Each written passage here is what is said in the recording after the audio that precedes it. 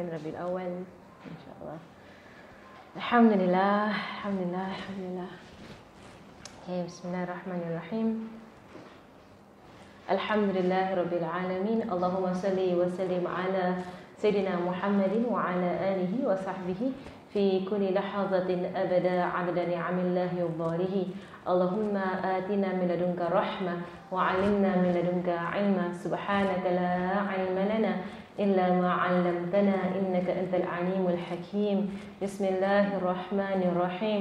نوينا التعلم وتعليم وتذكر وتذكير والنفع والانتفاع والإفادة والاستفادة والحث على التمسك بكتاب الله وسنة رسوله صلى الله عليه وآله وصحبه وسلم ودعاء إلى الهدى ودلالة على الخير ابتغاء وجه الله ومرضاته وقربه وثوابه.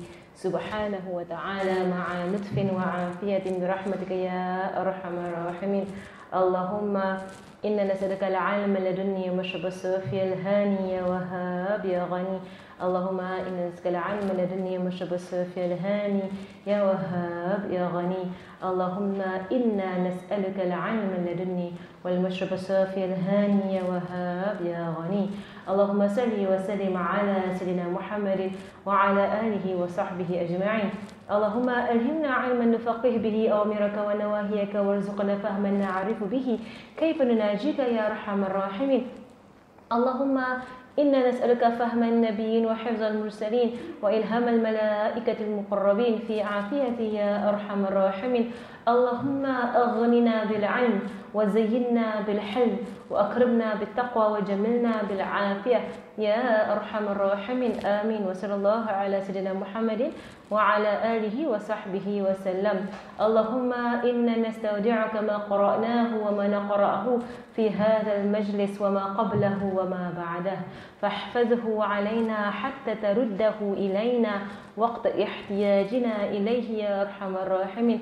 اللهم يا معلم إبراهيم علمنا ويا مفهم سليمان فهمنا ويا مؤتي داود الحكمة آتينا, آتينا الحكمة وأصلحنا اللهم أكرمنا بنور الفهم وأخرجنا من ظلمات الوهم وافتح لنا أبواب رحمتك وانشر علينا حكمتك يا أرحم الراحمين آمين وصلى الله على سيدنا محمد وعلى آله وصحبه وسلم. اللهم يا من مقال الأمور كلها بيده وإليه يرجع الأمر كله. يا فتاح يا عليم. يا فتاح يا عليم. يا فتاح يا عليم. افتح علينا فتحا قريبا. وصلى الله على سيدنا محمد وعلى آله وصحبه وسلم. بسم الله الرحمن الرحيم. رب اشرح لي صدري ويسر لي أمري واحلل عقدة من لساني يفقه قولي وسد لساني واهدي قلبي وافعل كذلك بأحبابي أبدا وارزقنا كمال فتوح العارفين والفقه في الدين مع كمال الإخلاص والصدق واليقين والعافية والغنى والنصر والحفظ والنفع والانتفاع وخير الدارين وعلوم الأولين والآخرين. آمين. وصلى الله على سيدنا محمد وعلى آله وصحبه وسلم. والحمد لله رب العالمين. الفاتحة. أعوذ بالله من الشيطان الرجيم. بسم الله الرحمن الرحيم. الحمد لله رب العالمين. الرحمن الرحيم. مالك يوم الدين. إياك نعبد وإياك نستعين. اهدنا الصراط المستقيم. صراط الذين أنعمت عليهم غير المغضوب عليهم ولا الضالين. آمين آمين آمين. الحمد لله الحمد لله الحمد لله. حفظ الله سبحانه وتعالى for gathering us again. الحمد لله uh, face to face. الحمد لله. Uh, to around his book subhanahu wa ta'ala. And the people of the Quran they are the elect of Allah subhanahu wa ta'ala. We ask Allah subhanahu wa ta'ala to make us to count us as the people of the Quran or at least of those who love the people of the Quran. Uh, as we have as what we are studying here is tafsir and these are the words of our scholars where which which, which, which derive their uh, who derive their knowledge all the way back to the, to the Prophet wasallam. So at least if you can't be, uh, you know, the, the, people themselves, the people of the Quran, is a big claim right, to make. Right, at least be those who love, right, those who love the Quran, and be of those who love of those those who love those who love the Quran. You know, mashallah. Alhamdulillah, Alhamdulillah, Alhamdulillah. And we're continuing with the story. Now, uh, last week I, I, I read through the verses, right? And I went through briefly on the superficial meanings of the verses. And I went into the first part of the verses, which was the people selling off Nabi Yusuf alayhi salam. So today, we're going right into the story of uh, Zulaikha.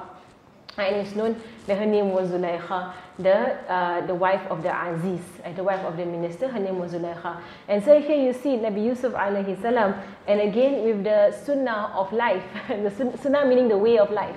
Uh, it is Allah's way in the creation that uh, as long as you're on the face of this earth, it will be issue after issue after issue. I just thought that he just, he just went through a terrible thing with his brothers. Just finished the entire thing, got, got caught and sold into slavery. And then now, okay, you might think he's, he can rest now in the house of a rich man. But no, the wife got interested in him. I mean, like you will not think of all things to happen at this point in time. That the wife now is infatuated with uh, with a person, and this is one. This is in fact the biggest trial on Nabi Yusuf alayhi salam, as will be the biggest trial on any human being, a trial in obedience to Allah subhanahu wa taala. Like you see the previous trials, right? The, the one of his brothers. Right, he has had, it was a calamity that afflicted him. He kind of had no choice, in the sense that he was taken and he was thrown. Right, he didn't. Like he was a young boy, he couldn't fight back. And there was basically, basically it was a calamity that afflicted and basically it, it encompassed him. Right? And so all he had to do was be patient. Be patient until, until the whole thing blows over, as how we know, you know certain things in life are like that. Right? They just happen, and you have no way out and no way around this, but just to go through the motions right? until it's done, right? and then it, it finishes, it ends, and you know, you know, you know, you know, brighter days will come, will come after that. This is this kind of calamity is a calamity of choice. Right? And it's a calamity on the Iman. It's a calamity, it's a trial. Trial and a calamity on the Iman because now he's faced with maksiyah. He's faced with sin. It's not like all the other calamities. All the other calamities in, in prison was easier. Right? he says it himself. Prison is prison is easier and more beloved to me. Right? Being in charge of the wealth of the nation right, was easier. Uh, being thrown in the well by the brothers was easier. All of this was easier than this one calamity, face to face with sin. What does he do? You know, subhanallah. And this was this was is one of the seven people under the throne of Allah subhanahu wa ta'ala on the day of judgment when faced with sin. Right, they, right now they have a choice. And do they want to do it just one time? so Shaitan will tell you, just one time. It's just one time. then what the brothers say, what the brothers were like, it's just gonna get him get rid of him one time. Then you're gonna be all righteous.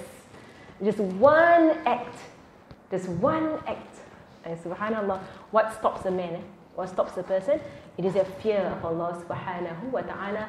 As Rasulullah sallallahu in the, in the hadith of the seven people on the throne of Allah subhanahu wa ta'ala, one of them is a man or a woman of beauty and, and, and, and, and, uh, and position in society call him right, towards what is sinful and he says, I fear Allah. And this hadith of course goes for both genders. As if a woman is called by a man right, to do what is sinful and she refrains saying, I fear Allah or even in any way or form. It doesn't have to be a sexual uh, sin. It can be any form of sin. Right? So if someone calls you to cheat, right, to do some, some business that, that, is, that, that, involves cheating, that involves lying, or any kind of, of, of those, any kind of sin. Right? But you, and, and it's so tempting because the money is, is, is a lot. Right? The money, sometimes in this kind of things, the money, the money is, is tempting. Right? But you say, no, I fear Allah. Right? I rather stick with whatever I know which is minimal but halal, and then to go into what is haram. And so this is a, a calamity, and we're going to go into this, the, the, the, the, analysis as Allah says about the story of Nabi Yusuf. Therefore, surely in the story of Nabi Yusuf are uh, it's, there, there, there are signs for those who ask questions. And just ask questions.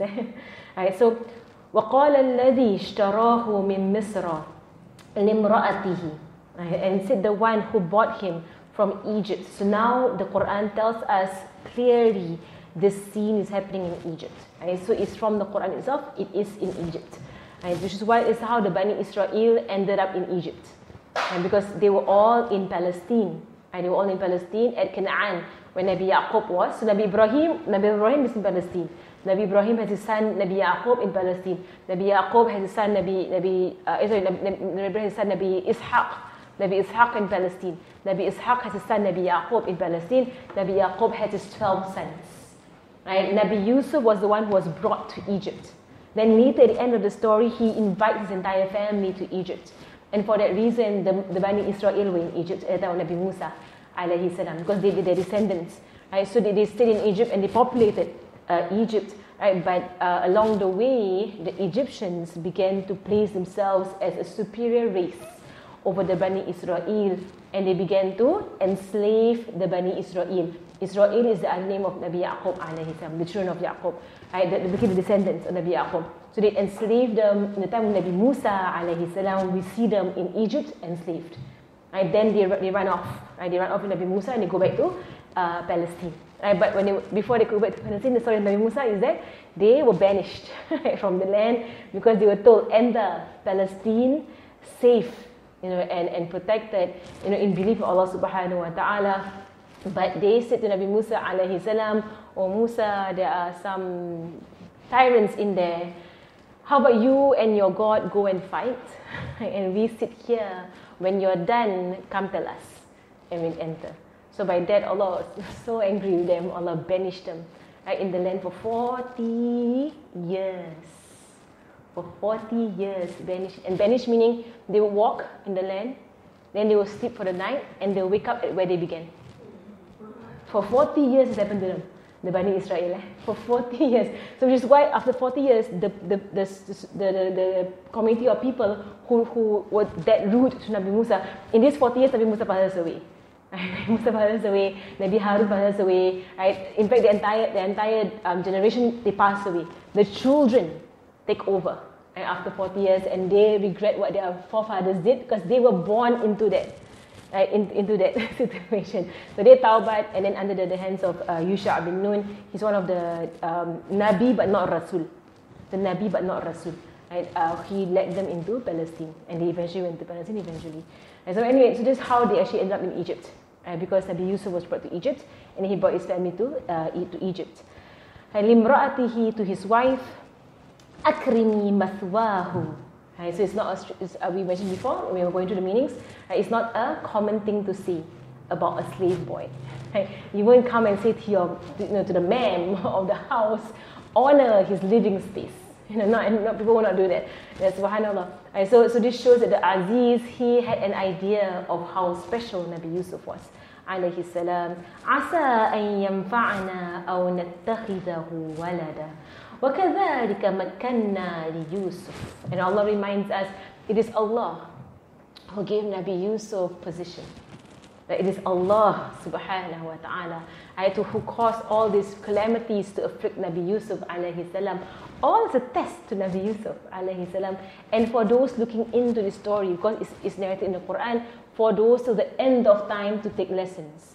Like, what about this story? And because stories in the Quran are not for fun, they're not for, for like you know information or entertainment. Eh? Stories in the Quran, they, they are brought in an angle for you to take the lessons that Allah wants you, that Allah wants you to take from this from the stories in the Quran. So you see, the, the, the Quran it, it does not go by the beginning and end with the end. No, the Quran, except for the Yusuf story, is the only one story that begins with the beginning and ends with the end. And whereas the other prophets, like you have clips here and there around the Quran. Right? Why? Because Allah is speaking about a point in the Quran, then to illustrate the point, story. Uh, so, so, so, so, telling people about taqwa, okay, story.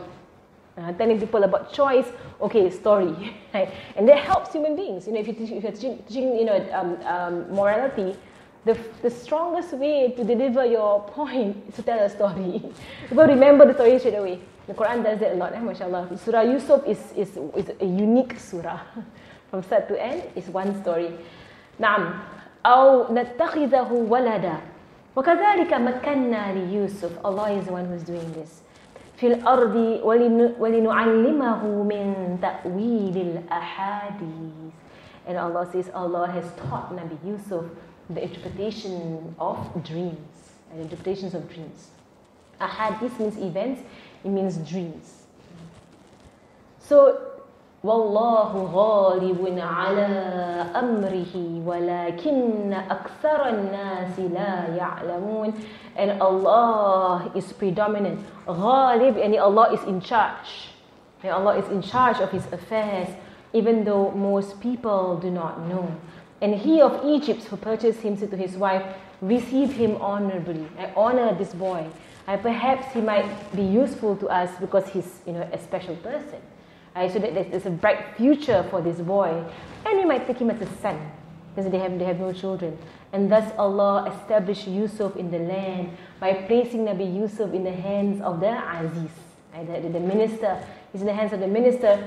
But, but being in the hands of the minister did not do anything for him. Being seduced by the minister's wife put him in jail, which put him in a position uh, whereby he was answering questions. Right? He was doing da'wah in jail which later on put him in a position to be the king's advisor.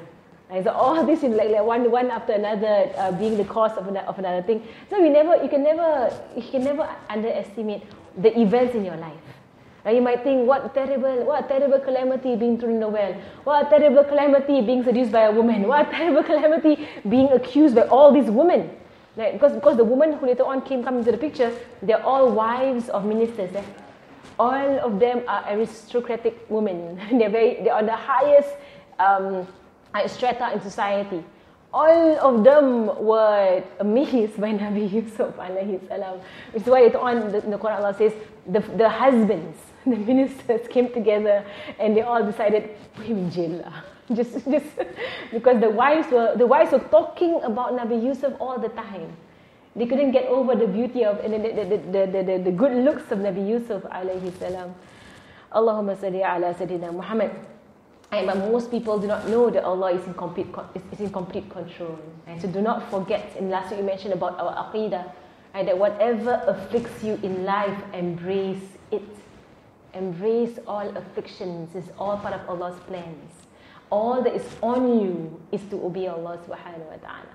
And Allah never, never placed it on you, your, your own destiny and your own decree. That's Allah subhanahu wa ta'ala's affair. And Allah handles your rizqi, Allah handles your decree, Allah handles your everything about you. All that He put on your shoulders is obey Him. That's all. Just obey Him. That's all He's asking. And even then, we then be worried about all these other things, and then obedience put to the side. So Imam Ghazali says, the distractions of this life. Imam Ghazali, in, the, in his book Minhaj al-Abidin, he speaks about the four distractions in life. And because his life is, Allah says, life is for worshiping, worshiping Allah subhanahu wa ta'ala. People are distracted. Distracted by what? Distracted by their rizq that Allah has already confirmed for you. Right? Distracted by their fears. They have all these worries and fears. Distracted. They're distracted by their decree and that all these things has happened is the decree of Allah subhanahu wa ta'ala and they are distracted by calamity that they, they, they, they, they, they, they go into uh, like a rut and they can't come out of when what is placed on them is worship that's all obedience that's all that's placed on you everything else let Allah handle and Allah handles it anyway wallahu ghalibun ala amrihi and Allah is, is, is in control over your life, whether or not you realize it, eh? and whether or not you want to submit to it. Allah is in control. So just relax. Allah is in control. Let Allah do whatever He wants to do. Subhanahu wa ta'ala. You are a slave in the hands of your Lord. Subhanahu wa ta'ala. وَلَكِنَّ أَكْثَرَ النَّاسِ لَا يَعْلَمُونَ But most people don't understand or they don't know. So here, the one who brought him to his wife, he was a man from Egypt, was a minister from Egypt. Uh, according to Sayyidina Abdullah bin, bin Mas'ud, uh, he was the, uh, the companion of Rasulullah sallallahu The Aziz of Misr inferred the inner beauty of Nabi Yusuf from his external beauty. Uh, so he, he could recognize, Nabi Yusuf was still a boy at this time, 12 years old, or some say 12, 11, 12 around there. Uh, so um, he, he was already a very beautiful young boy. Right? So he was, he was very attractive as a young boy. Um, and so he inferred that, he, that Nabi Yusuf had good character right? from the external beauty of Nabi Yusuf alayhi salam. Now, um, and, and true enough, right, it was also with, with him interacting with Nabi Yusuf alayhi salam, he saw Nabi Yusuf had good character. There is a hadith whereby Rasulullah said that Allah does not bring together two traits in a believer right, to fling the person into the hellfire. These two traits is a beautiful outward and a beautiful inward. Right? Allah, if Allah gives you a beautiful outward and a beautiful inward, and a beautiful outward is, is, is a vast meaning. Eh? beautiful outward. Right? Don't let you know the media define for you what is a beautiful outward, because Allah's creation is beautiful. Subhanahu wa taala. Allah has perfected His creation. He Himself has said so. He has perfected His creation. What remains in its natural form that is beautiful. That's how Allah has created it. And we are the ones who distort the natural form. And we are the ones who try to do something else to the natural form. And then we think we're making it more beautiful. Uh, but Allah Alam. Eh? So, so many times, if you see someone in their natural form, so beautiful, mashallah. And if you look at children, you, you hardly find an ugly child. I don't think, I don't think I've ever seen a, an ugly baby. Eh? I think every baby I've ever seen it's beautiful. Every single one. right? Allah created them right, the way they are. And then a beautiful inward, a beautiful character. Right? Um, Allah has given that to you. Alhamdulillah. It's, good, it's, a, it's a sign, it's good news. It's a sign that Allah wants uh, paradise for you. Right? Good in, and so inward is for you to work on, right? Outward is for you to appreciate and not to try and find fault with the creation of Allah subhanahu wa ta'ala. Uh, it is, it is kufr ni'mah. It is, it is to deny Allah's blessings, to, to be discontent with how you are created, to deny His blessings. And who's to say what's beautiful, what's not beautiful, right? Subhanallah. So Nabi Yusuf's story, which is why, mashallah, with the Nabi Yusuf's, um, uh, the, the, the, the surah of surah of Nabi Yusuf alayhi salam, they will say for pregnant women to read this surah. Right, in, in abundance as you are pregnant to read. There are, there are a few surahs uh, to read when you're pregnant, right? And this is one of the surahs uh, for good, for beautiful character, not so much for the good looks. it's more important, beautiful character. Right, good looks for what? If you're going to be burn, if someone's going to burn the hellfire, right, for what? Good looks. Can, how many people have, have, have amazing looks? And then only to, to, to flaunt their looks and to flaunt their body and to flaunt all kinds of things. And then, and then not to have any devotion to Allah subhanahu wa ta'ala. But the reading of Surah Yusuf while being pregnant, it is the intention to have, for the child to have beautiful character. And that is the, the intention. One of my friends, she didn't, she didn't read Surah Yusuf at all when she was pregnant because she didn't want her child to be beautiful. She said it's a big fitna. You know? because she was, she was very beautiful. She was very, a very beautiful woman. Right? So she, she felt too much attention coming to her. So she didn't want her child to receive didn't read Surah Yusuf. And I said, Yusuf is for character lah, not for, for looks. And no one told me. I thought was for looks. Because Nabi Yusuf is known for his handsomeness. How can Nabi Yusuf not known for his, for his good character? he has excellent character, but he's all known by, by the woman who cut their hands when they saw him. That's the most famous story of Nabi Yusuf. Why? He went through so much. And then, like, if, if, if imagine Nabi Yusuf, all you remember is the woman and they cut their fingers. All my whole life that I went through, all oh, you remember is the woman and their fingers. La hawla wa la quwwata illa billah. Nabi Yusuf, mashallah beautiful character that the, that the Aziz of Misr saw. Right, Nabi Yusuf, he could see light shining in the face of Nabi Yusuf alayhi salam, as with all prophets. All prophets have a shining, they have, they have light in their face. And all people who carry the, gene, the genes of prophets, right, they carry the, the, the loins, eh, the genes of prophets, they also have a shining light in their face. And this was, this was documented, clearly documented in the lineage of Rasulullah. His father had a light in his face. His grandfather had a light in his face. His mother, while pregnant with him, had a light in her face. Right? All of them right, had have lights in their faces. They're prophets. You all don't live amongst prophets, so you don't know like you know like you can spot a prophet from, from afar. Eh? The one prophet, mashallah. Right? Imagine how in the past when they lived amongst prophets, and, and to, actually, to actually witness a prophet in your midst. MashaAllah. Right, so he saw this boy of high standing and loved him immediately, as with all prophets. All prophets are attractive, all prophets have a beautiful light, all prophets uh, they gain love immediately from the people around them. That is what Allah has bestowed on His prophets. Why? Because they have to da'wah. Right? So because to da'wah, the, what, you, what Allah would give His prophets will be complete attraction. Right? People will come to Him from all, come, come to them and follow them.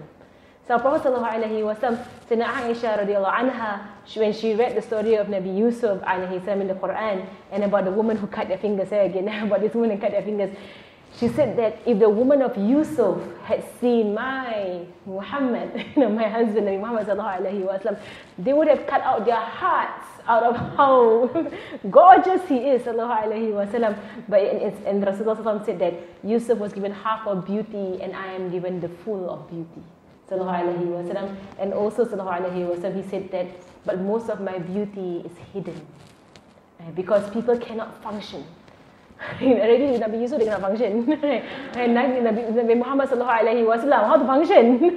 like they go into, you know, there was once a man that came into his presence, suddenly lah, suddenly saw, saw Rasulullah and he has a presence.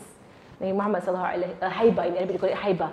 Uh, the Malay word hibat, it is same. It is, I'm not, I'm not joking. It's the same word. The Malays took the word haiba. Haiba meaning hibat. Uh, he's hibat. He has this, a greatness about him. A man came in suddenly into Rasulullah's presence, and then he went to shake. He, he, couldn't, he couldn't control himself because it was so, so awesome of a human being. And then Rasulullah had to went close to him and said to him, "Calm down, like, calm down. I'm just a man." I'm just a man, you know, whose um, mothers or grandmothers had eaten dried meat. I mean that, you know, I'm from, I'm from a poor lineage. I'm like any one of you guys.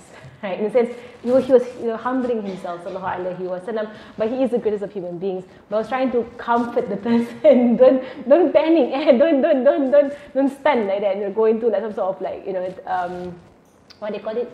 Like uh, starstruck. starstruck. So amazed by Rasulullah. Same thing happened to Rasul's uh, grandfather, Abdul Muttalib. And when he came into the presence of Abraha, who was going to destroy the Kaaba, when Abdul Muttalib came to the presence of Abraha, Abraha got off his throne. and he's the king who was about to destroy the Kaaba. He got off his throne and he was shaking, seeing the greatness of Abdul Muttalib in front of him. The grandfather, this is the grandfather of Rasulullah. So Nabi Yusuf, same thing, prophets, they have this, he's a young boy, right? but there is this awesomeness about them that is unique for prophets. Unique for prophets, inshallah. Literally, the minister said, Be generous in his place of abode, be generous to him. All this is meant to be an instruction to treat him kindly. The expression signifies greatest kindness to be contrasted with his stay in the, uh, to be contrasted with his stay in the well. Right, so it does, it does have a, have a meaning there, right, about to be, to, be, to be good to him. He's gone through a lot. Right? To be good to him, he's gone through a lot. Right? all the fears that were associated with that experience of being in the well. Not to say the minister knew about the well story, not to say, but the minister could tell that Nabi Yusuf was a boy who had gone through a lot. Right? He could tell. Right? So with the greatness of Nabi Yusuf and the light in his face, he could still tell it was a boy who was, um, he's not a slave. The minister knew he was, because the slaves, they have a, they have a, they have a way about them. Right? Someone who's not a slave, right? meaning someone from a, from a, from a higher uh, class in society, they can tell. They can tell that you're from a noble family. They can tell from the way the person carries. Of course, Nabi Yusuf with light in his face, prophet lagi, he's a prophet. And so of course they could tell he's not a slave, and he's been basically, basically they, they knew he was being he's been kidnapped, and he's been uh, abducted. Same thing with um, many of the, mashallah, even if Rasulullah wasallam, his, uh, his adopted son, Yazid bin Haritha, uh, they could tell he wasn't asleep. uh, he was actually kidnapped uh, from his family and sold into slavery, which Rasulullah freed him uh, from his slavery, but he chose to stay with Rasulullah wasallam instead of going back to his family, inshallah. And he instructed his wife to do, to do so, not anybody else. This shows the situation of Nabi Yusuf with the Aziz, so not any other slave or any other uh, servant, his own wife. He said, honor this young boy, this special boy that I bought from the market. Asa an yanfa'ana aw nattakhidahu walada. Right, they had, uh, so, so, so basically, this, this, this basically this entire ayat showed how the Aziz viewed Nabi Yusuf alayhi salam. وكذلك مكنا ليوسف Right? And just like that, Allah gave Yusuf position. And he gave position, he, he gained position to the Aziz. Because remember, before the seduction story, because while in the Quran it's one ayat apart, right? in life it was a few years down the road. Right? Because he came in as a child, and then Allah says that when he reached his maturity, I meaning puberty, and some say up to his 30s. I had a different riwayat as to how old he was when he was seduced by the minister's wife. Right, so which means that he has lived in the house of the minister for good years, uh, for a good number of years. So it's only one ayat apart in the Quran, right? But the minister knows him well. He's lived, and, and the minister has loved him like a son. Right? So, so why Nabi Yusuf, when, when, when, when the wife comes up to him, he said, my, my, my Lord, meaning his minister, he's been good to me. I will not, I will not uh, betray him in this way. to remind her as well, your husband has been good to you. And don't betray him in this way. Uh, but she was, she was, um, uh, قد شغفها حبا in the Quran Allah says uh, she, she was she was uh, what is it crazily in love I don't know how else to say it like شغفها حبا uh, she was completely consumed by her obsession she couldn't see anything at all and that, that is what um, that is what lust does and lust can consume a person in their obsession uh, Allahumma salli ala Sayyidina Muhammad. There was once a, uh, uh, this kind of, um, you know, this kind of tilawa competitions uh, on TV. it's kind of like they recite the Quran. And in Malaysia, they always have it, right? For, I, the, I think a few years ago, I was watching it, my, my mother-in-law put it on. And every, the, the verses they, they chose were exactly the verses of seduction in Nabi Yusuf's story. And so, like, those who understand, you keep sitting there and you're like, like you know uh, وراودته التي هو في بيتها and like you just every single participant children small children who were reciting and the one who was in the house seduced him that was the ayat I was thinking the organizers of all ayats kan carilah ayat lain ada Ayat why every small child وراودته التي هو في بيتها عن نفسه وغلقت الأبواب وقالت هيت لك Miss come to me I, was my how I like that but it was no subtitles it was subtitles it's just tilawa so I think everyone sitting there not not not is there not a person who understands what's being said I was sitting there my, my, my niece was from Marasa uh, Segaf she was I mean PU lah she was like mommy why did you choose ayat? Because she understood. I have no idea why every single small child is singing is reading this ayat over and over again.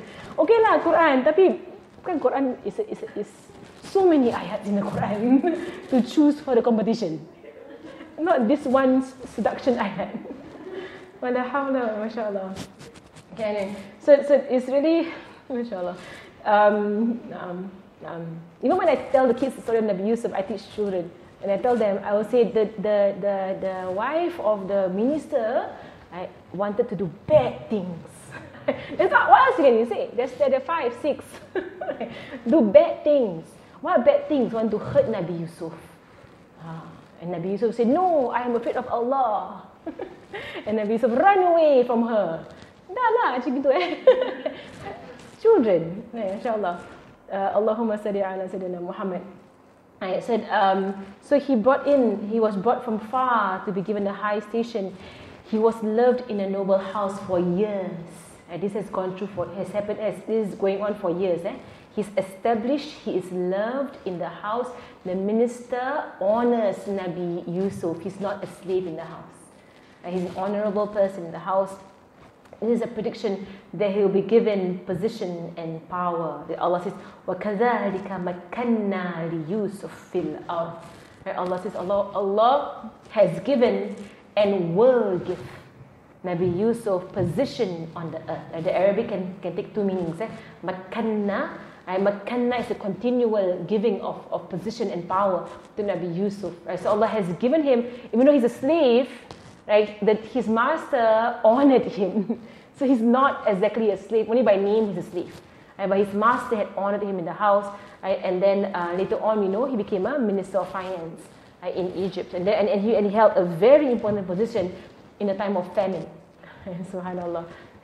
لنعلمه من تأويل الأحاديث he was blessed with an environment where he could interpret dreams and events he was established so he could bring peace through equity and justice for the betterment of community, Nabi Yusuf used his position to da'wah.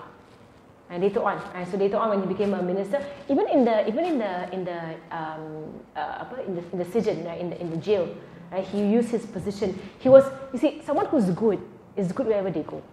So when he was thrown in the prison, right, the prison people automatically identified he's not supposed to be here. right. Straight away they knew. This one confirm get um, some frame case. right. They saw him only they know he's not he's not one of us. He's, he's some he's a, he's a very pure person. Why is he in the in the cave in, in, in, the in the prison? And the same thing happened. This, is sunnah of Nabi Yusuf alayhi salam to be thrown in prison. The same thing happened to so many of the scholars in the ummah of Rasulullah sallallahu taking after Nabi Yusuf alayhi salam. Imam Shafi'i thrown in prison. Imam Malik thrown in prison. Imam Abu Hanifa thrown in prison. Imam uh, Ahmad bin Hanbal thrown in prison. Every one of our great imams were thrown in prison right, by, the, by the government of that time. And when they were in prison, they made a madrasah in prison.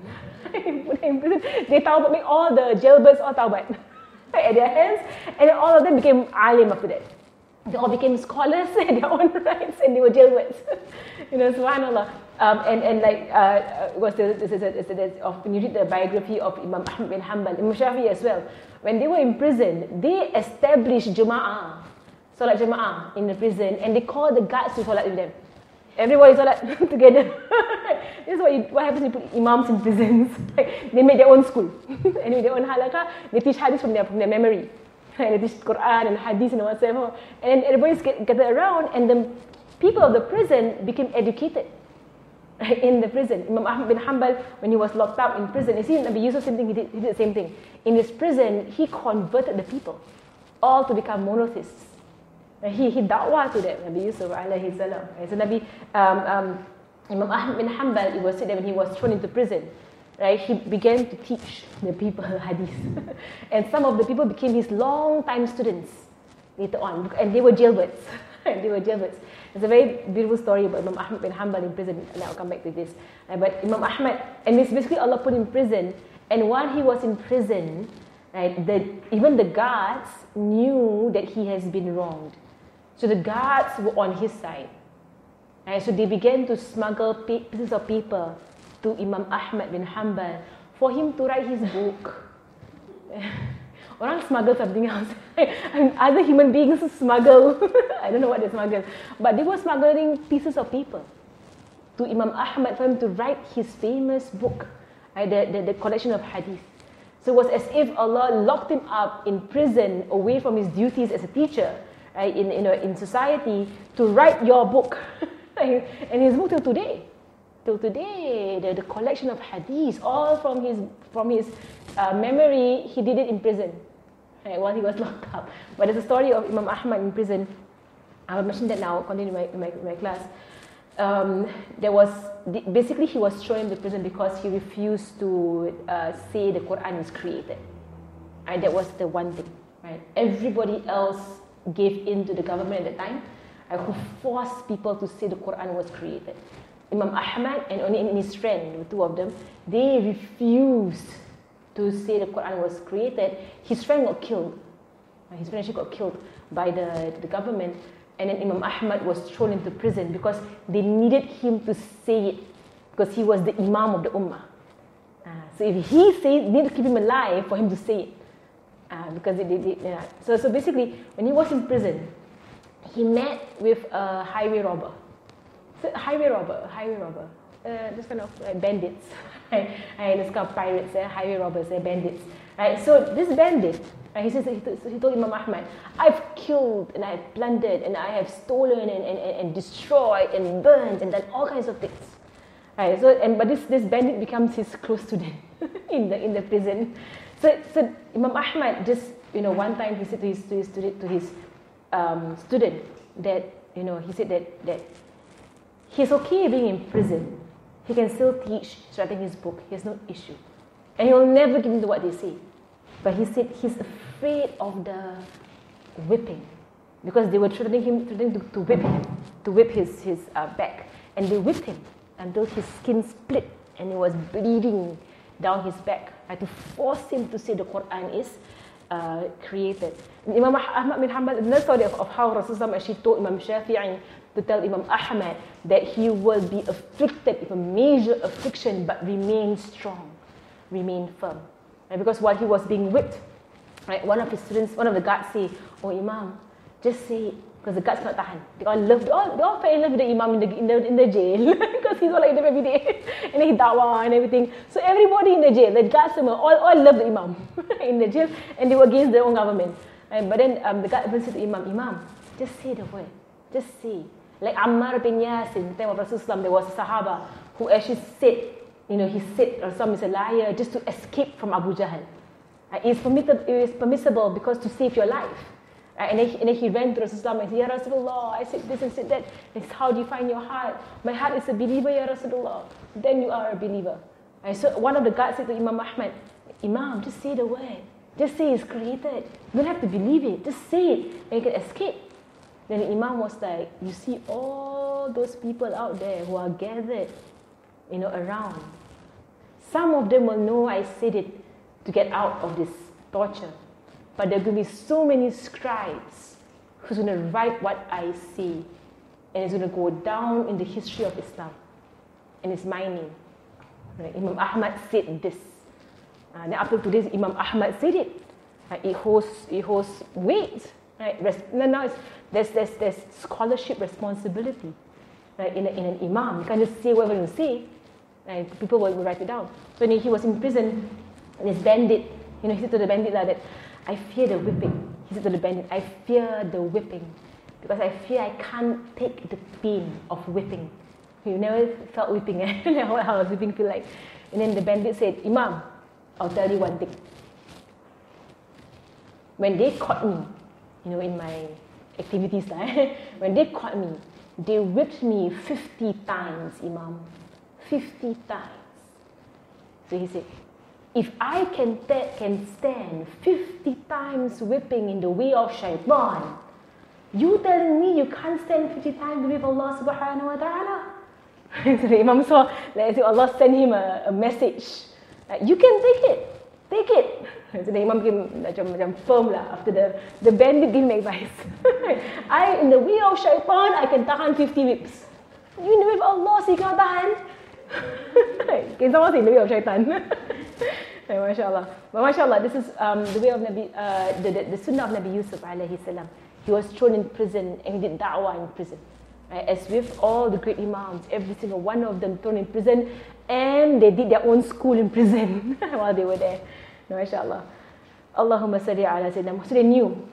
And they knew of this position of Nabi Yusuf alayhi salam. Allah taught him how to put things right where they belong. He was the Nabi of his time. He was a Rasul of his time. He had a duty to uh, fulfill. He was blessed with comprehension of divine knowledge. He had wisdom. Nabi Yusuf alayhi salam, as Allah said in the next verse, that Allah will give him knowledge and wisdom in his implementation of knowledge from Allah subhanahu wa ta'ala. So with Nabi Yusuf, you see, he is about to face the biggest uh, trial eh, against him. Allah prepared him with knowledge. And with knowledge. But knowledge also together with fear of Allah subhanahu wa ta'ala. Must fear Allah. So how many people out there have knowledge, knowledge, knowledge, no fear? They become monsters. And knowledge without taqwa right, uh, breeds a monster. Uh, but knowledge with taqwa breeds a saint. A, a wali of the awliya of Allah subhanahu wa ta'ala. Acquisition of all, of all other supportive knowledge and the interpretation of dreams. Wallahu ghalibun ala amrihi. Allah is powerful and is in control of what He wills. Whenever He wills, all events will fall into place so that it will happen. Allah will not allow anyone to be in charge of the affairs of Nabi Yusuf, nor anybody in his creation. Allah is in charge in everybody's affairs. Right? From the beginning of time to the end of time, Allah is in full charge right, over whatever we go through. Nobody can take over Allah subhanahu wa ta'ala. Nobody's plans and plots will prevail. Do not fear human beings, but fear Allah subhanahu wa ta'ala and rely in Allah subhanahu wa ta'ala. So the Quran, the Quran does a, a lot of, you know, mentality shift. Eh? The Quran, mashallah. So Allah says most human beings don't know. Because most human beings think that they are in control of their own lives. You think you're in control of your own lives. Allah is in control. And depend on Allah subhanahu wa ta'ala. So was it in there? Did I go first? Yes, tell me if I need to slow down. The bottom part, is it? Okay. okay, tamam.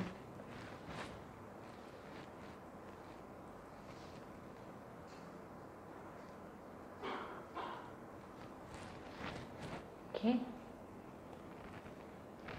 ولكن أكثر الناس لا يعلمون and most people do not know the reality of most human beings.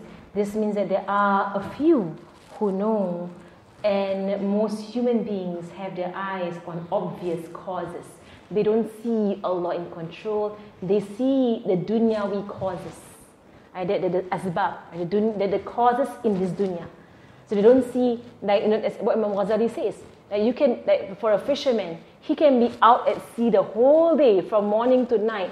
Does not mean he's gonna he's gonna catch uh, a lot of fish, right? If Allah commands the fish to go into his net, he can catch a lot of fish in a, in a moment. All in the hands of Allah subhanahu wa ta'ala. All Allah wants to see from us is effort. But Allah will give. So even if someone were to get wealth without any effort on their part, then they just lost out in, in gaining reward on the day of judgment. Allah gives you money, Allah gives you this or that. With no effort on your part, then nothing for you on the day of judgment. but if you work hard and you do this for the sake of Allah subhanahu wa ta'ala in ibadah, and whether or not money comes into your hands, the whole point is trying to obey Allah. So you already won. You've already won. And without money coming into your hands, then you've already won by doing something that Allah has commanded. And same thing with studying is studying religion. Whether you pass or you don't pass, you know, to my students, whether you don't pass, you're studying for Allah subhanahu wa ta'ala, you win right now. Right now, that, that, that win already. Whether you pass or not. You try, you try hard. And then there are those who don't study at all and they still they, they, they score very well. Then the reward minimal. Right? It's minimal reward. Same thing with dua. Right? Someone who gets things just like that without dua without qiyamul no night prayer, no yasin reading, no sedekah giving, no nothing all. Everything come to them. Allah can do that. Allah gave Fir'aun everything, right? But then on the day of judgment, what are you going to get? Can? As opposed to someone that Allah withholds, doesn't give them. They dua and dua and they pray at night and they sedekah and then they read yasins and then they, they do all of what they can do even if it does not, if it never comes their way, even if it never comes their way, they've already won. Right? On the day of judgment, they're going to see all these deeds as mountains in front of them. And they'll be like, Alhamdulillah, I had something that I never got. I mean, I had something in life that I never, there's something happened to me in life that I never got. On the day of judgment, there'll be mountains in front of you. As how Allah says in the Quran about the battle of Badr, Nabi Muhammad Sallallahu time, because if, if, if tafsir always go to Nabi Muhammad's story, eh?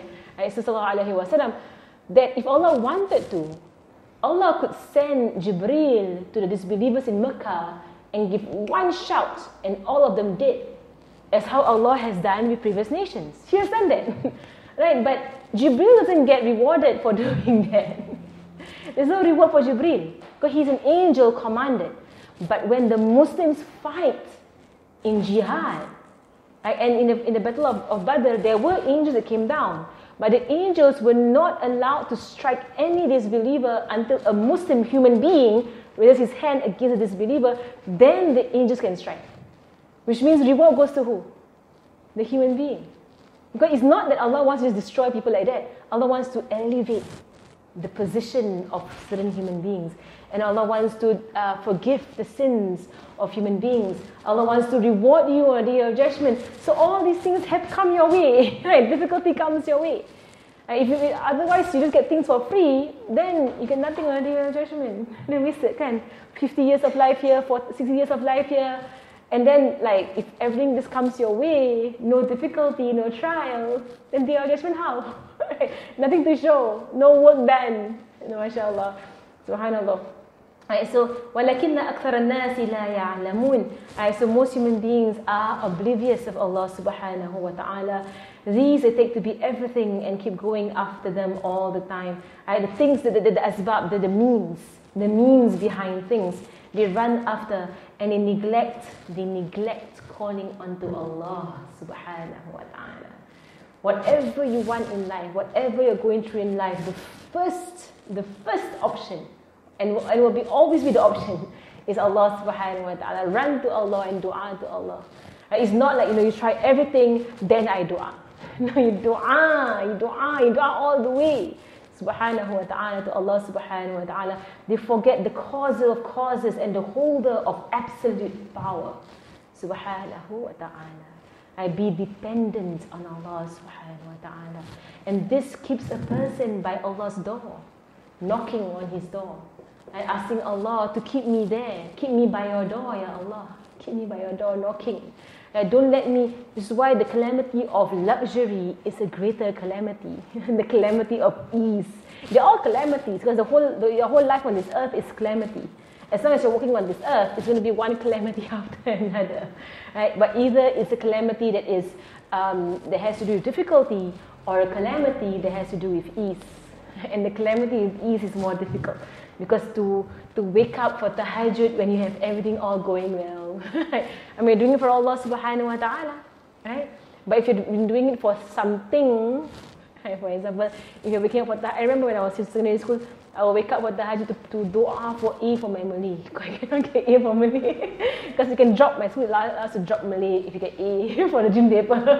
so I just remember like for one month in in, in May, every single night, I, I wake up, I set four, set four. Pray tu rakaat, ya Allah, A, A1 or A2? A1, kan? So, so petty. and then, dah dapat the A2, I got A2 on Malay, then stop, stop my tahajud.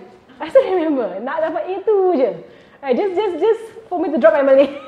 That's what the year. Right, so petty. But, but Masya Allah, I mean, that's that I mean that that does that does bring you to a realization. Human beings macam gitu. Doa ya Allah, I want this ya Allah, I want that job ya Allah, I want I want I want I want. You got it? Continue not? Continue doa not? Continue waking up not? Continue with your crying not? Continue not? Subhanallah. So the calamity of ease is more difficult because you're in ease. What are you asking for? No, mashallah. A lot to ask for, dear judgment. mashallah. Right, wama and Allah says in the Quran, wama tasha'una illa ay yasha Allahu Rabbul Alamin. Right, which means and they do not wish except or do not want except whatever Allah has wanted, the Lord of the worlds. Right, you will never you will never uh, gain as, as uh, except what Allah Himself has wanted. If I'm not wrong, this is in Surah Insan. Okay. Eh? Is it? I forgot. I know it's in the 29th juz or 30th juz, somewhere there. Yes, one of those juz. وَمَا تَشَاءُونَ إِلَّا أَن يَشَاءَ اللَّهُ رَبُّ الْعَالَمِينَ You can search lah. You can search the, the I write the, the Arabic. Looks like this. How to write? Okay, never mind. When I'm on my Zoom, I can write. my here, I don't know how to write. Okay, um, if I get the ayat, I Uh, people think others cause nobility and dis- debasement. They think human beings cause nobility and dis- debasement, causes advancement and regress, life and death. It is none other than Allah subhanahu wa ta'ala who causes everything. Right? Allah says, قُلِ اللَّهُمَّ مَالِكَ الْمُلْكِ اللهم مالك الملك تؤتي الملك من تشاء وتعز من تشاء وتذل من تشاء. وبلغ الخير إنك على كل شيء قدير. تولد الليل في النهار وتولد النهار في الليل وتخرج الحي من الميت وتخرج الميت من الحي وترزق من تشاء بغير حساب.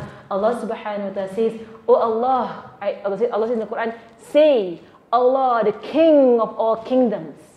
The king of all kingdoms. Right? You give whomsoever you want. And you take from whomsoever you want, and you raise whomsoever you want, and you debate whomsoever you want. You does whatever you want to. You, you do whatever you want to do. You are the one who brings the day, and you bring the night. If Allah wants to stop the day, nobody can bring the night. You can't say the earth is on a rotation, you know, with, with inertia and has, you know, that it's going to keep rotating. If Allah wants to stop the day, Allah stops the day. Right? And there are narrations of prophets that have stopped the sun, making dua to Allah subhanahu wa ta'ala and point to the sun, the sun stopped. Right? And then they did their work, previous prophets, eh? and then the sun set after that. You know, mashallah. I mean, it's all not mustahil. Allah can do whatever He wants to do. mashallah. Allahumma salli ala Sayyidina Muhammad. Naam. Okay, then he says, ولما بلغ أشده آتيناه حكما وعلما وكذلك نجزي المحسنين Right, so Allah says, and when he reached maturity, we gave him wisdom, hukman, wa and knowledge. And like that, we reward those who do good. And muhsinin, those who are excellent in goodness. He reaches prime, we gave him wisdom and knowledge, and thus we reward those who do good. So Nabi Yusuf prime age. What is his, what is his prime age? His prime age is, uh, some say 15, uh, puberty, 15. Prophets don't get wet dreams. Right? So prophets only reach puberty by uh, age. they reach puberty by age. They don't get wet dreams. Prophets don't have a, lust, a lustful nature like how other human beings have. As if you go into the Aqidah of prophets, they are, they, they, they are different, eh? very different. Right? So when they, so when they marry, they marry for da'wah. Their whole life is about da'wah. Their whole life is about da'wah. So for some, for Rasulullah's wives, right, every single wife, there was a da'wah reason why he married her. Every single one of them, eh? subhanAllah. This is why at the, at the beginning of his, of his life, he only married one. Sayyidah Khadija. And for how many years? 25 years. 25 years monogamous. 10 years, a bit more, 12 years. 10, 10 12 years uh, polygamous. And then they're, they're so hooked on that. 25 years monogamous, you know, right? I mean, he only married Sayyidah Khadija, a woman much older than him, but he's hopping on Sayyidina Aisha, Sayyidina Aisha. Kita Sayyidina Aisha. Like she, Madam Buti says, they keep hopping on her. Ask her lah, she happy or not married to Rasulullah. She's very happy being married to him. Then why are you all kepo oh, his, you know, her marriage life? She was more than happy to be married. In she was jealous whenever he had another wife, right? So he, and, but it was all, um, it was all, it wasn't even political. It was da'wah. It was purely da'wah reasons and why he married each of them. Sayyidina Aisha, it was, it was, it was, um, uh, it was commanded because of her intellect. As a very sharp woman, and by her, two thirds of knowledge come to us. Two thirds of. There's a lot of Islamic knowledge in a young girl, mashallah. Subhanallah. I saw um, prophets reach puberty by age, right, 15. Right, so some say age of puberty, some put at 33, at the prime age 33. Nabi Isa was raised to the heavens at age of 33. Right, so Nabi Isa will come back down at the age of 33. Right, so Allah preserves his age. And so when he comes back down, he's 33. Right, um, others say at 20 or 40. Right, and, and it is known, inshallah, eh, wisdom and knowledge comes to human beings with, this, with, with age. Inshallah, it's supposed to happen. It's supposed to happen. Right? Wisdom and knowledge should come with age. Because experience.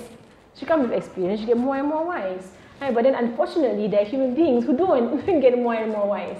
You know, and, and it's really um, there is there are different aspects of the human being when it comes to when it comes to awakeness.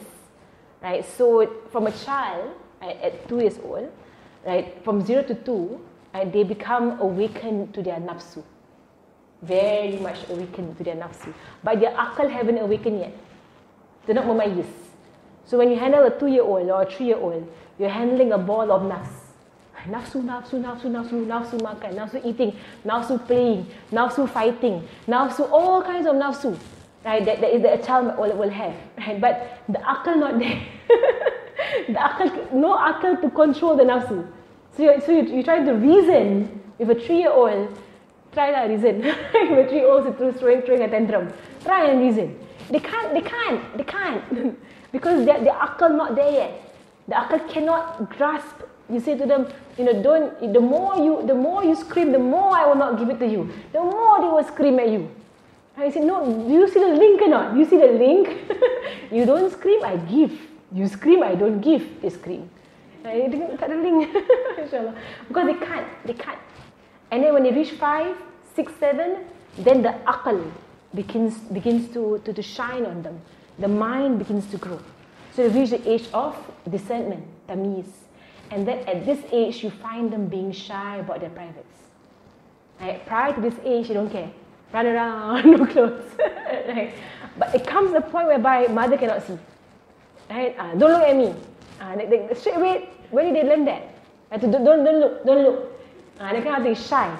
Right? Shyness, there is, as, as, as, as some of the, Imam Ghazali says, right? it is a, it's a nur, it's a light of the mind that Allah gives them that they learn to be shy. Now, human beings, in human beings naturally are shy, about, especially about the private parts. Right? But it's only society that conditioned them to not be shy about it. Naturally, Allah gives shyness. Society destroys it right, for them. So if you can preserve it for them, that is. Preserve the, the, the shyness that they have. And then as they grow older, right, comes the, the so after, after the mind, then it, the mind continues to grow until puberty. Then comes sexual awakening. Right, they become more aware. Right? For some people as young as nine, right, come into puberty already. And then some people as late as uh, 15, right, they come into puberty. And then after that, there is an awakening of, uh, of wisdom. Right? So most people by 40, they should reach there.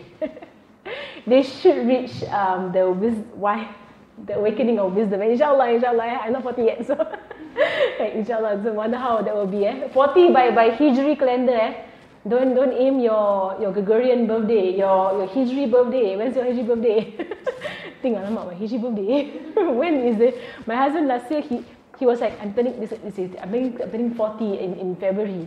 Then I say, 14, your Masihi, your Hijri was last year. he was like, eh, really? yeah, you were 40 last year. then he was like, alamak, that was like 40 already. he was trying to aim something lah, for, by, by, by 40 must be like this you know, this ibadah lah, you're trying to aim something. Right, but basically by 40, say by 40 you should have realized. you're sedar, eh? You have, must, must have realized by 40, by 40, realize your position in this world and your preparation for the hereafter right, at 40. Because 40 is downhill already. 40 is the peak for most human beings. And after 40, it's downhill until, until the grave lah. Inshallah. I don't know how many here, how many of you are 40 and above. Eh. but it's 40, it's 40 already. More years to 40. Alhamdulillah. Like others said 20 or 40, which is why prophethood cut, uh, would come to most prophets at 40. Uh, because 40 is when the full maturing of a human being, spiritual and by wisdom, intellectual and physical, full mature, they, they reach their prime at 40, most human beings. There are prophets that get it younger right? Like Nabi uh, Isa. Nabi Isa got it younger, right? In his, in his uh, before 30s, in fact. Um, Nabi Yahya. Nabi Yahya also got it younger, right? but because Nabi Isa, Nabi Yahya, they were born in a time whereby there were no prophets. Nabi Zakaria passed away. And Nabi Zakaria dua for child. Nabi Zakaria was going very old, no child, no inheritor to guide the Bani Israel. So he dua for a child. And so Allah gave him uh, Nabi Yahya. So Nabi Yahya was given prophet, prophet, prophethood from a very young age. So uh, expected to carry the message. But most prophets later, they are given at, at, uh, at a later age. آتيناه حكما وعلما Hukum implies wisdom, understanding, uh, intellect and power of judgment. And ilm, knowledge, is an awareness and knowledge both religious and worldly without ignorance. Nabi Yusuf was aware. which is why Nabi Yusuf could handle the stores of the earth. He, he, had, he had knowledge. So he said, Ana hafizun alim. I am, I am one who guards over the wealth and I am knowledgeable about these affairs. I know how to guard over the wealth. Uh, so he has some financial uh, background, eh, Nabi Yusuf. He learned you know, about, about whatever he learned, eh, he, had, he had some um, uh, background on how to handle finances. Uh, he was blessed with nubuwa, which is prophethood. Hikmah, meaning being able to control himself. A wise person is a person in control of his emotions. That's the, the, the, that is the definition of a wise person.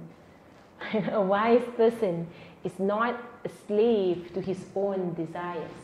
Whatever desires might be, whether it is um, for his own ego, whether it's for sexual desires, whether it's food desires, whether it's sleep desire, whether it's, you know, our shahwa is from every angle.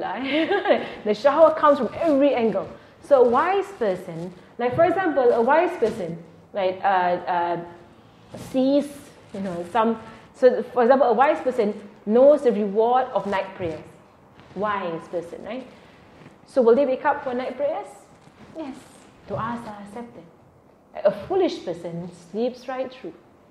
Right? Doesn't care to wake up. Right? But you say, you know, which is why, like, for example, if someone were to say, you know, you send salawat to Nabi Muhammad sallallahu alaihi wasallam, Allah sends you ten. So someone who refuses to send salawat to Nabi Muhammad sallallahu alaihi wasallam, you're a foolish person. Such a fool. Because to say, Allahumma salli ala Muhammad, ten from Allah subhanahu wa ta'ala. Even a child understands that, that, that that's a good thing. say one time, ten come to you. You don't have to go somewhere and build a masjid and put money and put and, and, and, and, and, and time, whatsoever. Just slawat. Slawat. and all you get from Allah subhanahu wa ta'ala.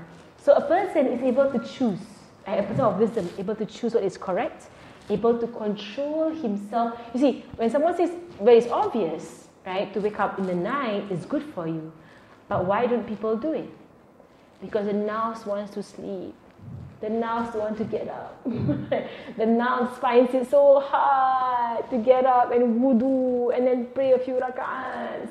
The nafs says subuh is six, you know, subuh what time? 5.37, I think. right? The nafs, the cries out. Subuh, subuh ends at 6.59. now the nafs will talk to you, will talk to you and the nafs will say, no, it's sunnah, it's not wajib. Especially if you're in a cold country. Eh? It's so cold. Don't get up. Subhanallah. Uh, but the, the, the wisdom says you're going to regret it. You're going to regret not getting up. Right? You only have a few more years of your life. Right? When you gonna you, when you gonna gonna keep wasting your mornings away? Come on, get up, get up. So so the one with wisdom can push themselves. Get up, get up, get up. Come, Bismillah, Bismillah. right, get up, mashallah. Now here we see that maturity comes with knowledge. Also, some concepts can only be understood with maturity, and with age comes experience, as Allah Himself tells us. Right? To have age is important. So all prophets are given prophethood. Most prophets, in fact, are given prophethood at a later age, and they are established in society. Right? So 40 is not too young, nor too old. It's just nice if you're in your 30s, high chances you're not going to be a leader over the elders. If you're in your 40s, it's a chance. Uh, because you know, 40, you're kind of you're kind of senior, you're kind of senior. So those who are older than you will still, you know, uh, respect you and hold you in, in, you know, in regard. But if you're 30 coming in, right? Can you imagine that you know someone that's 20 years old, 30 years old, and saying I'm the leader over everybody? Right? Most people will be like, or those who are older, lah. They'd be like, it's so small, so young, like 30 years old. It still sounds young, 30. Right, but 40 sounds mature. There's a maturity to it, inshallah. Okay. Physical maturity, intellectual maturity, emotional maturity, and spiritual maturity, as I mentioned, that all human beings go through this. But not doesn't go through all. Some people never reach their, their, their spiritual maturity. I mean, Allah help us. right. So I want to give the definition for all of them. Physical maturity, as we know, right, um, is uh, Okay, physical maturity, puberty. Right, so the human being has grown into a full human being. Right, so now all of your body parts are functional. Whereas prior to puberty, uh, there are parts of your body that have not reached its full function. Intellectual maturity. Mm. Intellectual maturity actually, they say it begins at tamyiz, at, the age of five, around five to seven, where you begin to understand and learn things, right? But with um, with, with age, right, the mind begins to learn how to memorize. The mind begins to learn how to analyze. The mind begins to learn how to be critical about things. And when you teach children, you realize that when you teach primary one, primary two, or kindergarten, they cannot understand some concepts. You try your hardest to explain to them some concepts, they cannot. But with age, just a bit of years, and they're now upper primary, they can understand already. Just have to mention to them one time and they get it. Right? It's really, it's really about, about the age. And sometimes, sometimes, you know, this is what, what is the modern day education, um, you know, all the, uh, all the, apa, the theories lah, which actually is, is based on, in, in, the, in, the, in the prophetic method as well. Right? That when it comes for to children, the first seven years is focus on character, character building, first seven years, akhlaq.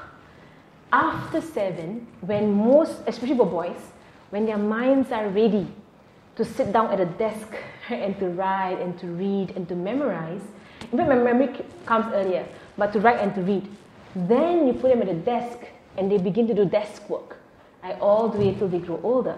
But, but what has happened to society is that because you force them on desk work very early, that character building is not emphasized. Not for all, but, but, but, but it's growing. Lah. It's growing. Character building is neglected. And in Islam, character building is attachment to Allah subhanahu wa ta'ala. First seven years, Aqidah. It's Aqidah all the way, first seven years. Right? Connection to Allah, fear of Allah, Allah watches you, Allah sees you, run to Allah, cry to Allah, love Allah, love the Prophet, right? follow the Prophet. First seven years, there only. Talk about that. Then when seven comes, pray. They will pray. Because the first seven years, full building of their relationship with Allah subhanahu wa ta'ala. They love all that has to do with Allah subhanahu wa ta'ala. And pray easy, inshallah, inshallah, easy like for them. Then by the time nine comes, like fully able to take on the Sharia.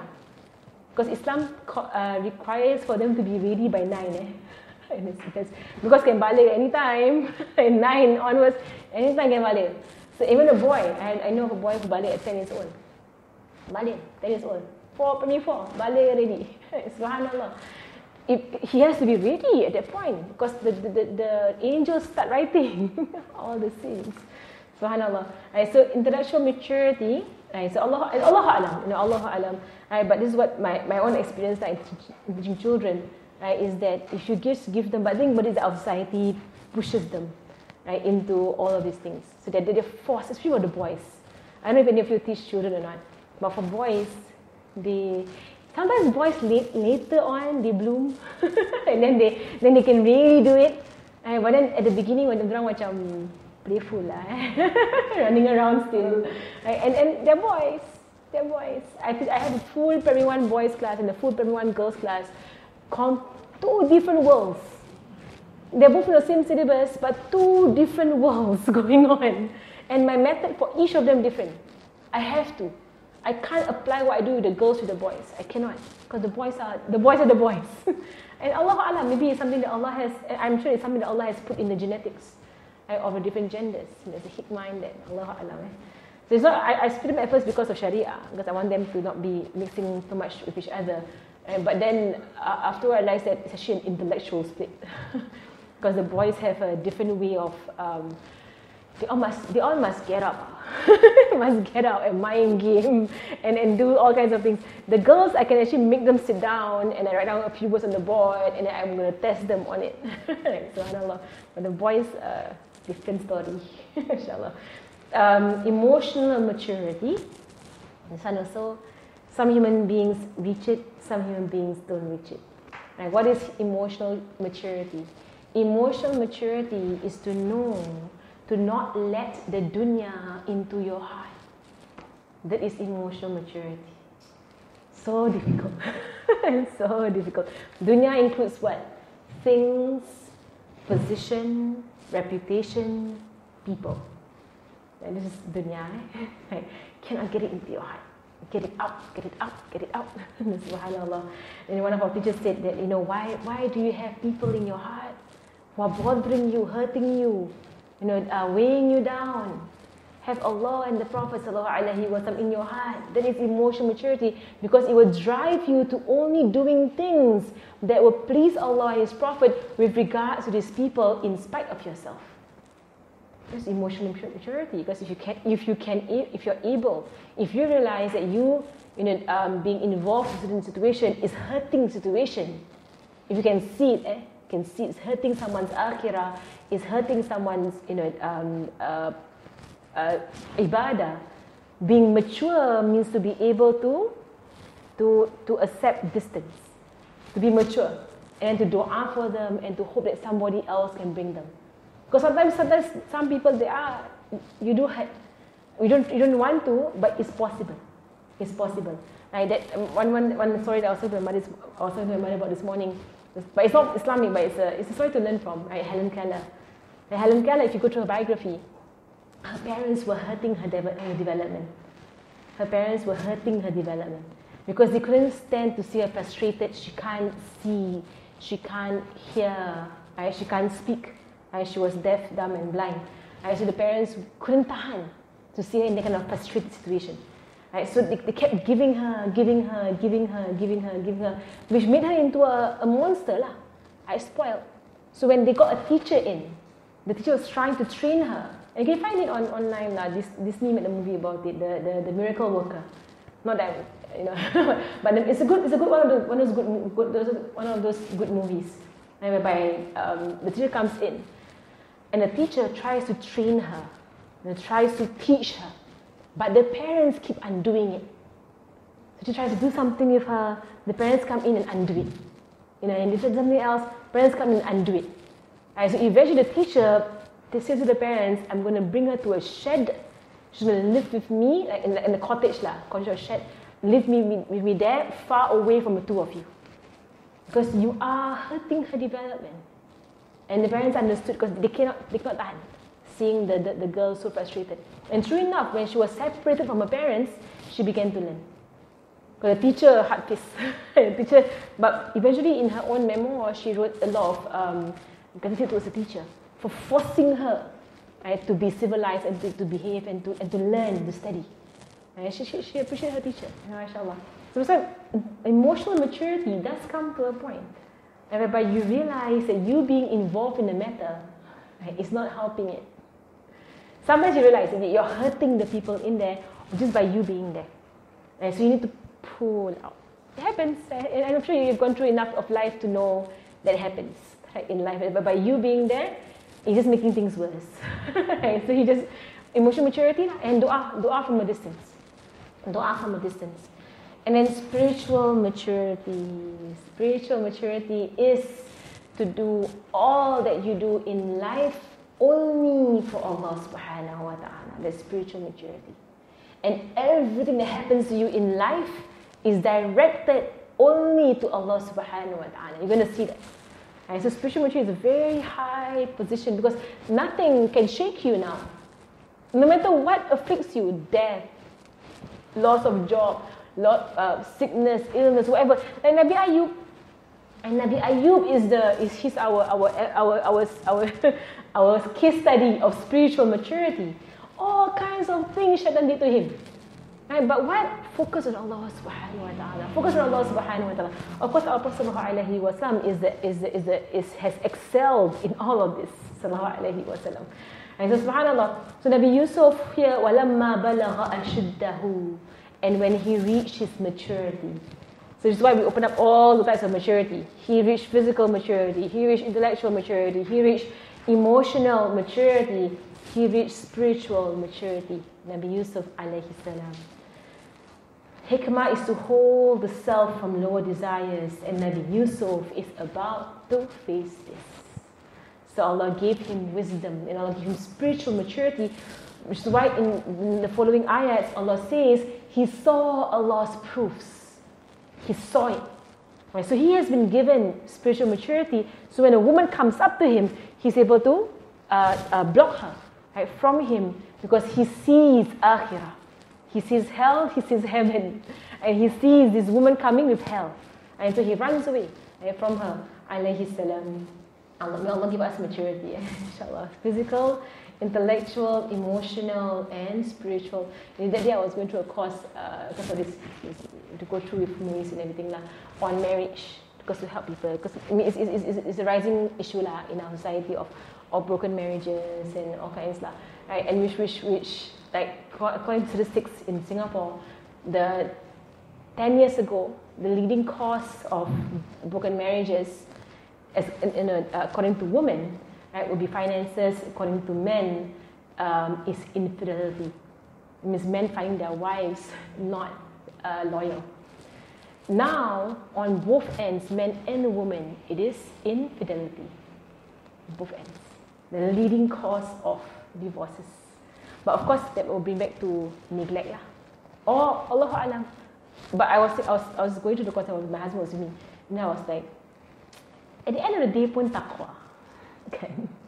I mean, as much as someone's not fulfilling your needs, taqwa, taqwa. Right? Taqwa is taqwa. And you cannot blame someone for not fulfilling your needs, therefore you go and cheat. Okay. Right? I mean, can't say that. that. Allah has put bars on us. That control yourself. So even if you're not married, you can't say, oh, I'm not married, to find a way out. No, taqwa, taqwa. the, the spiritual maturity. And I think the leading cause of, of a lot of problems uh, in society, not just marriage, but problems, uh, is maturity. That's the leading cause of all problems. Maturity. People are still in their childish uh, mentalities, right? Still shallow, still dunyawi, still uh, material. They're not looking beyond all these things. and it's more important. So the Sahaba could do what they could do because the Sahaba had no concern about dunya. So when you have no concern about dunya and all you care about is Allah subhanahu wa ta'ala, you have a 17 year old who can lead an army and, and, and conquer lands. Because they had no care for the dunya at all. They were all mature. You don't hear anything about Sahabas fighting each other in, in that way. Later on, you hear about the hypocrites doing it. But the Sahaba actually never fought Sahaba. Sahaba never fought Sahaba. And it was the hypocrites who caused all kinds of you know, uh, problems between, between companions. But the companions were so mature. They, they were so much, subhanAllah. But in our society now, any organization ada politics. And there's some, there's some bickering and some backbiting and some... All of this goes back down to lack of maturity. Lack of maturity in society. May Allah help us. All of us lah. All getting there, insyaAllah. Allah. His godly piety and excellence in deeds are reasons for these blessings. But it's hard to say in society when you say, you're all so immature. I mean, it's so hard, to, it's so, it's, these kind of words are very, very hurtful. To say someone that you have no maturity. You're not, you're, not, you're not being mature about the situation. You're not analyzing the situation well. You're not looking at it, you know, from, from benefit and, and harm. Looking at it from self, self, self. When the self comes in, there is immaturity because that is how children uh, function. Self, self, self. Right? Because you think of immaturity, think of children. Right? How do they function, children? I want. Right? Give me. Mine. some human beings, some adults until old age. I want. Give me. Mine. Same talk until old age. La hawla wa la quwwata illa billah. May Allah help us. May Allah help us. All the muhsin, Allah will grant them wisdom and knowledge. The muhsin is someone who takes a better path, is patient, always goes above and beyond. There is a reward for whosoever excels in their obedience to Allah. The blessings were that the blessing Allah gave him. وَكَذَلِكَ نَجْدِ الْمُحْسِنِينَ Allah said, just like that, we have rewarded those who do good. Allah established him in the land. Allah taught him interpretation of events and dreams. Allah gave him discernment and knowledge. And uh, so these are the three blessings that Allah gave him. Gave him. May Allah grant us ihsan and make us of those who strive for excellence. Are all these verses in between. See in Surah Nabi Yusuf, you have story, then you have reflection. Allah gives a story, then Allah gives some ayats of reflection. Then Allah gives the other part of the story. Then reflect again. Then other part of the story. Then reflect again. And at the end of the whole surah, a whole page of reflection. So Allah walks us through the lesson. Subhanallah. Subhanallah. MashaAllah.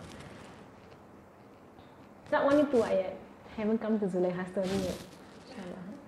InsyaAllah. Ayat. Nabi Yusuf was called Karim bin Karim bin Karim.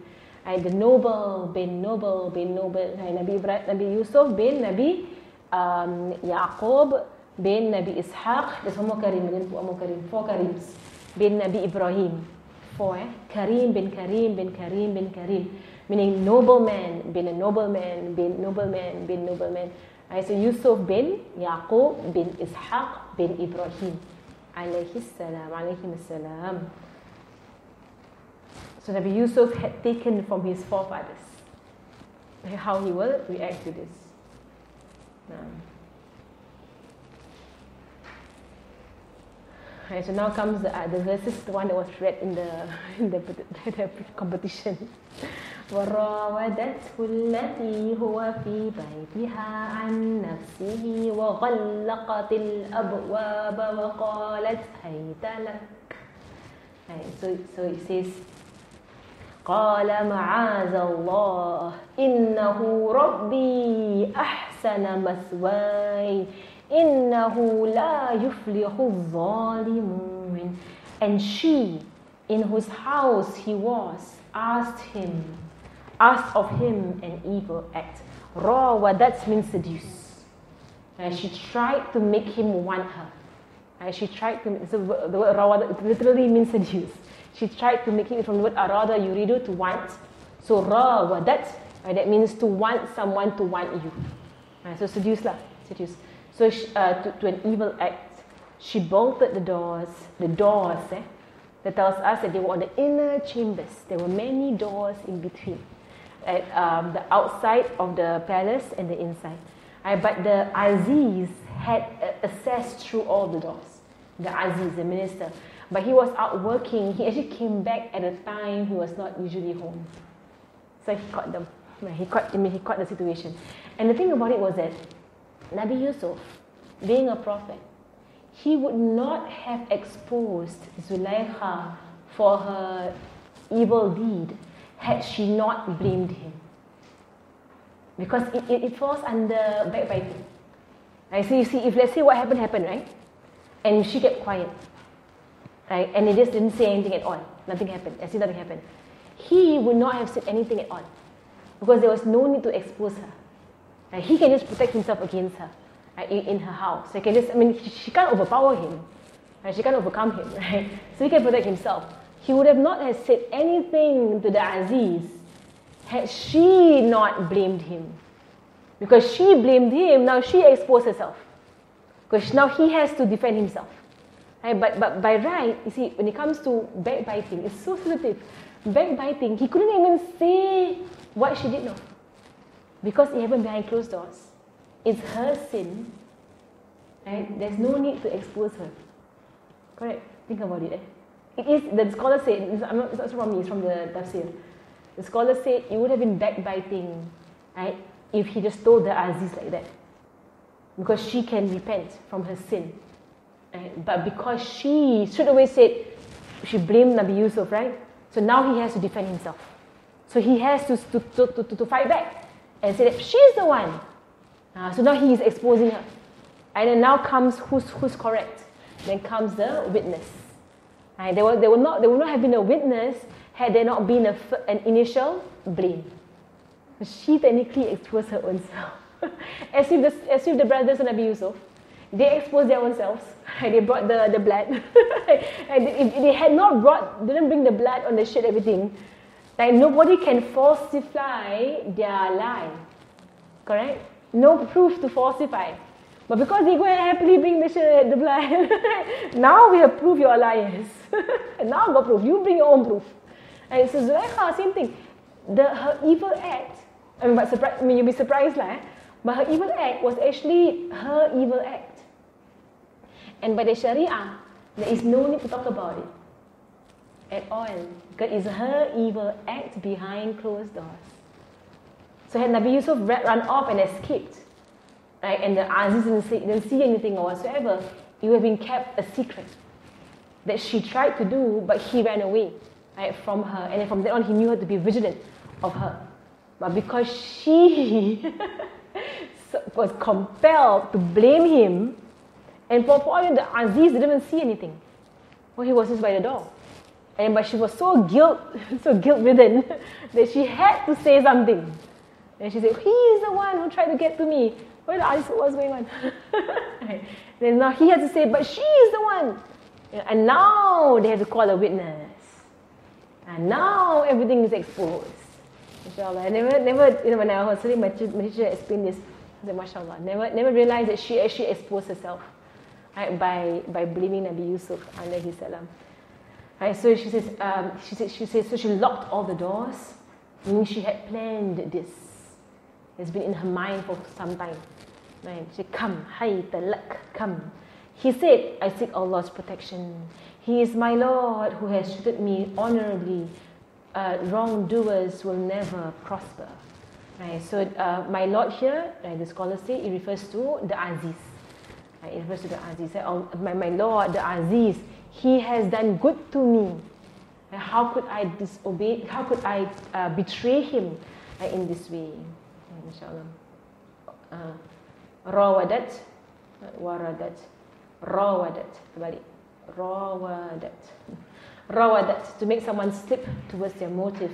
The woman of the house had made plans to cause him to slip. She was determined to make him incline to her wishes. She's in the house all the time. The husband is not home much. So Nabi Yusuf has to deal with her all the time. And someone being a servant, eh? being a servant at the um, at the beck and call of your ma'am. Right? So the ma'am has evil intentions. Ignoring her command will not be easy for him, but it is easy for the one with taqwa, Nabi Yusuf at taqwa. Allah highlights that he, that because he is under her وَرَاوَدَتْهُ الَّتِي هُوَ فِي بَيْتِهَا so Allah highlights that it's happening in her house and she is the, the, the ma'am of the house. And so is, is someone running away from their boss. And the boss wants to do evil, run away from the boss. And this happens so much in, in, in, uh, in our time. Eh? Right? Uh, Allahu Alam, Allahu Alam. By, from my students, I hear lah, that um, yalah, Allahu Alam. in some situations, sometimes bosses, they abuse their position with regards to uh, their workers. Uh, so here the boss is trying to abuse her position. Okay, inshallah, I will stop there for today, inshallah. Alhamdulillah. صلى الله على سيدنا محمد وعلى آله وصحبه وسلم والحمد لله رب العالمين الفاتحة إن الله يرزقنا علما نافعا وعملا خاصا مستقيم دلالة على الهدى ويسر النبي محمد صلى الله عليه وآله وصحبه وسلم وإلى أرواح معلمين مشايخنا وذرية علينا وإلى حضرة النبي محمد صلى الله عليه وسلم الفاتحة